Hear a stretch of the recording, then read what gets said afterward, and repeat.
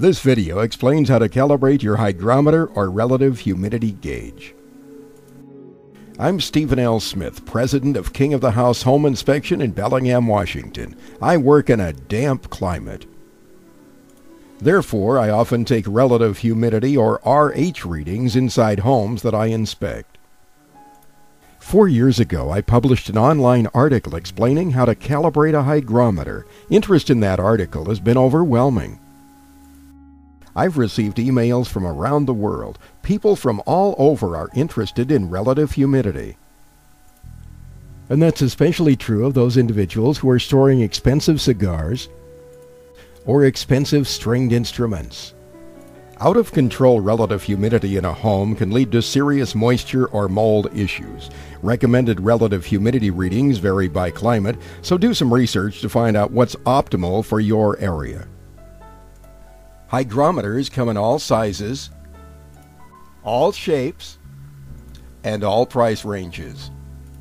To calibrate a hygrometer, you need to mix a 75% solution and build a simple relative humidity chamber. To create that relative humidity chamber, use salt. Just about any household salt, sodium chloride, will work. I use coarse kosher salt. Next, obtain a vessel in which to mix the chemicals. I cut the bottom off of a plastic jar or a yogurt container. Since there's a sensor built into my hygrometer, I also cut a notch in the side of the vessel. The notch will hold the sensor over the mixture without any risk of the sensor getting wet. You want moisture in the air, not water on the sensor. Put your chemical of choice, the salt, in the vessel. You don't need a lot. I estimate that 3 to 4 tablespoons will do. Next, you need water, preferably distilled water, but I find that tap water works just fine. People always ask me how much water they should add. The answer is not too much, maybe a tablespoon or a bit more, but add it gradually to create slurry. You do not want to dissolve the salt. For the proper chemical reaction, you need both solid and liquid. This looks just about right. Water's apparent, but you can still see the salt crystals. If you touch it, it should have the consistency of a snow cone. Remember, a dry solid will not work, and all liquid will not work either. Now let's look at a way to calibrate any hygrometer. First, obtain a clear plastic Ziploc bag. Seal that bag with the hygrometer and the salt mixture inside and wait 12 hours for the relative humidity to stabilize. Basic physics assures us that 75% RH will be generated. Room temperature is not critical either, but try to keep the temperature between 60 and 80 degrees Fahrenheit.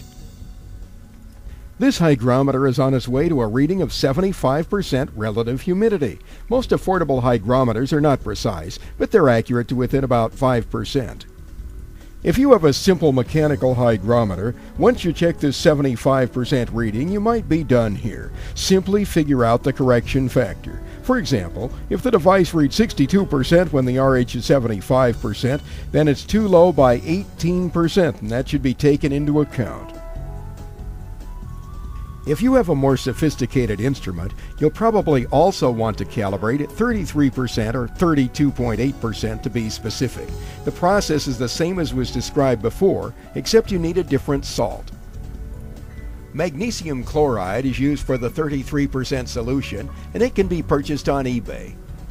For example, on this search page, you could buy the chemical in the first position, available from an aquarium supply house, or the chemical reagent in the third position down. You don't want the tablets in the middle, that's the wrong product.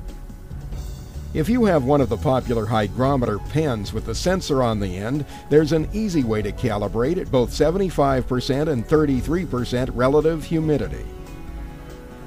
Find two small plastic or glass jars with plastic lids that screw into place. Cut round holes in the lids. You need a snug fit, so the sensor is tight in the hole with no air gaps to the sides. Needless to say, put your salt and water mixtures in the bottoms of the jars, screw on the lids, put the hygrometers in place, and wait 12 hours. This hygrometer is right on and doesn't even need to be calibrated. With two instruments and two humidity chambers, you can swap the hygrometers back and forth for double checking accuracy. Just give an instrument 40 minutes to stabilize after moving it from one chamber to another. If you have an instrument that's off, not recognizing 75% or 33%, then calibrate the instrument using the manufacturer's instructions. I'm Steven L. Smith, President of King of the House Home Inspection in Bellingham, Washington. I hope that this narrated slide presentation has helped you better understand this calibration procedure. King of the House Home Inspection serves the Pacific Northwest region of Washington State, Whatcom, Skagit, and Island counties.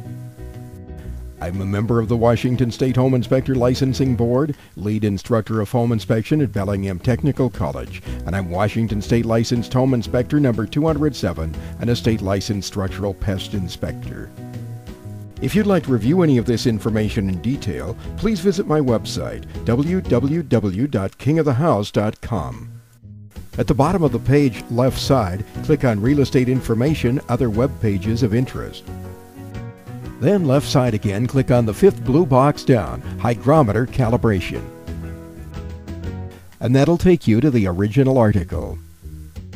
If you believe that this information on calibrating hygrometers would be of interest to a friend, I'd appreciate it if you'd share the link.